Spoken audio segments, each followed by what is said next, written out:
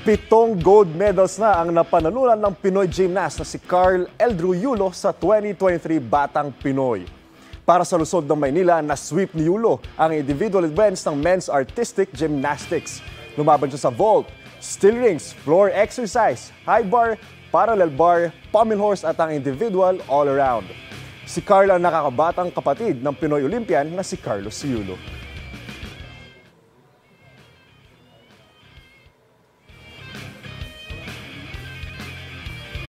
Mga kapuso, know the weather before you go at mag-subscribe na sa GMA Integrated News sa YouTube. Para sa mga kapuso natin sa abroad, bisitahin ang GMA Pinoy TV at www.gmanews.tv.